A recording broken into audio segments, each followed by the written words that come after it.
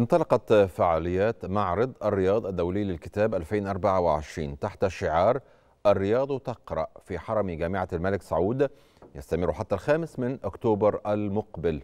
ويشارك في المعرض أكثر من ألفي دار نشر من أكثر من 30 دولة موزعة على أكثر من 800 جناح إضافة إلى مشاركة هيئات ومؤسسات ثقافية سعودية وعربية ودولية.